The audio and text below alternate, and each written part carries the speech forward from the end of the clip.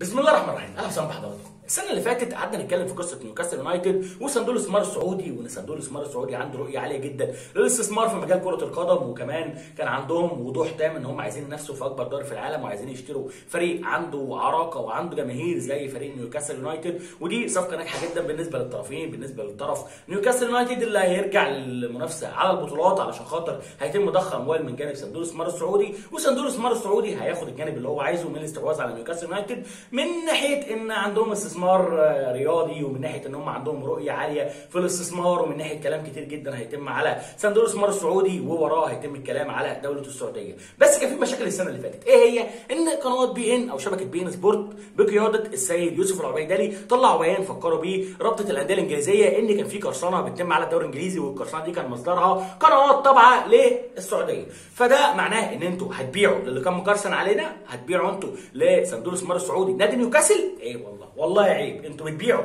للي كان بيسرق الدوري بتاعكم وبتبيعوا للي خسرنا. واللي خسركم فلوس.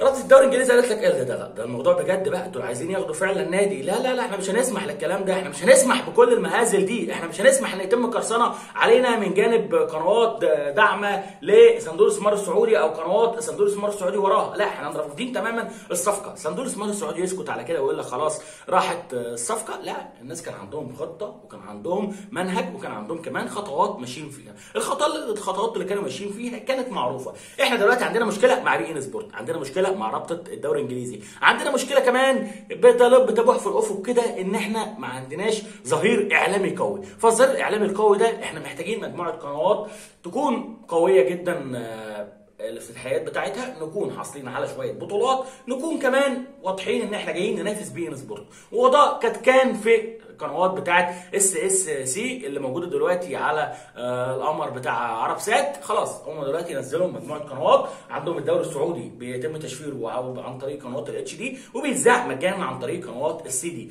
ضموا عليه بطولة آسيا ضموا عليه كمان دلوقتي تصفيات أفريقيا. خلاص إحنا جايين ومعانا دلوقتي ظهير إعلامي. وكمان معانا الظهير السياسي بتاعنا الظهير السياسي بتاعنا اللي اول ما تصالح مع قطر الصفقه بقت حلوة قوي والصفقه بقت سهلة جدا إنك تخلصها وفي يوم وليلة كل حاجة بقت سهلة. يعني امبارح بعد إعلان دولة السعودية إن هم رفعوا الحظر عن التعامل مع beIN Sport وعن الشغل في قطر وشغل لصالح beIN خلاص الموضوع كان انتهى تماما وإن نيوكاسل خلاص جدا اقترب لصندوق الاستثمار السعودي وقد كان.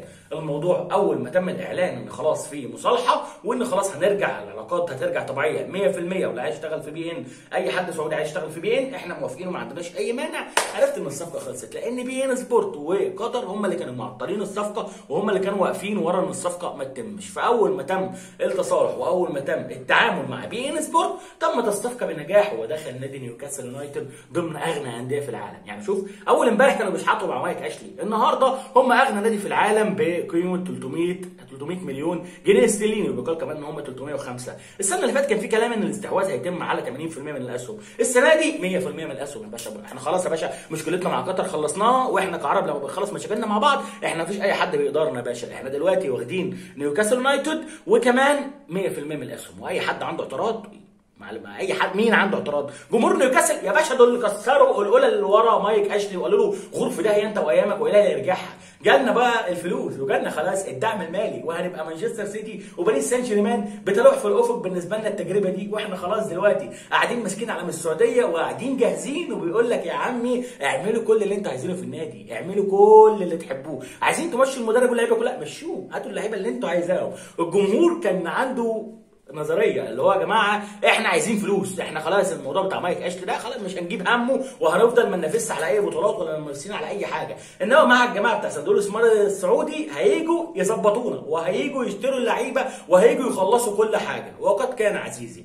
فعلا صندوق الاستثمار السعودي أول ما حصلوا على الصفقة قال لك بنشكر جمهور نيوكاسل اللي كان داعم للصفقة. آه جمهور نيوكاسل كان داعم للصفقة. دول عملوا عريضه من 90000 مشجع لرئيس الوزراء البريطاني. كانوا بي... كانوا بيطالبوه إن أنت وافق على الصفقة دي علشان خاطر إحنا موافقين كمشجعين لنيوكاسل ولازم أنتوا توافقوا على الصفقة علشان خاطر إحنا مواطنين لينا حرية التعبير وإحنا عايزين إن الصفقة دي تتم. كان في ضغط جمهوري من جانب مشجعين نيوكاسل وكان في ضغط إعلامي من جانب صندوق الاستثمار السعودي وكان في ضغط سياسي على beIN Sport إن إحنا نتصالح نطلعها علشان نلمها علشان الصفقة تمشي. وبعد ما فعلا اتصالحنا وبعد ما خلصنا كل حاجة الصفقة بقت جاهزة والفرعون جاهز للاحتفال. عزيزي جمهور نيوكاسل جاهز للاحتفال وجاهزين إحنا كمان للمتعة بتاع إن بقى عندنا منافس جديد على الدوري الإنجليزي. آه يبقى هم منافسين على الانجليزي أغنى نادي في العالم يا باشا زي ما بقول لك. أول امبارح كانوا بيشحتوا دلوقتي هم أغنى نادي في العالم. هل أنت مستعد عزيزي لهذه التجربة؟ أنا عن نفسي مستعد. بس أنت ممكن تكون مستعد معايا هنا وتعمل like أو subscribe للقناة علشان خاطر ربنا يكرمنا وندخل أموال لأن إحنا حرفيا بنشحت من يوتيوب وبقالنا سنتين